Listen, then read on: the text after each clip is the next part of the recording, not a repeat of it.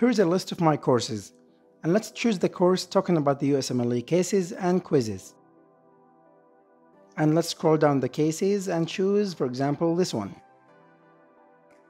Today we have a 29 weeks pregnant patient who went into premature labor. She was known to have preeclampsia, and during labor, she was given the appropriate medication. However, she became vitally unstable within 20 minutes of delivery. Her heart rate is 37, the respiratory rate is 4, and blood pressure is 60 over 22.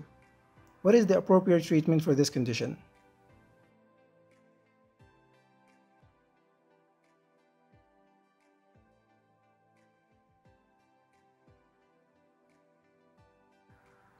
The key features, we have a 29 weeks pregnant patient who went to, into premature labor.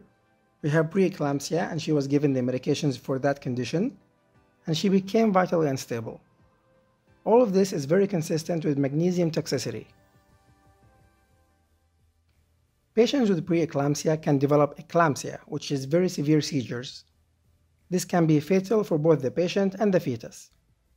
And so, to prevent eclampsia or seizures, we give these patients magnesium. Magnesium, however, in high amounts can cause magnesium toxicity, and this manifests as cardiopulmonary depression, areflexia, which is very important for exams, and hypocalcemia. Magnesium toxicity is treated by calcium gluconate. Here are the guidelines, and of course you'll have in the description as always. And if we go back to the question, we now know that the patient has magnesium toxicity and the treatment is calcium gluconate. Use the link below to get access to the full course including many cases and hundreds of quizzes. Everything in the course is high yield and common topics that we see frequently in the exams. Basically, we sat down and looked through a large number of question banks, quizzes, and many repeated exams. The topics we've chosen for this course are the most repeated topics, so they are very, very common. Thank you for watching.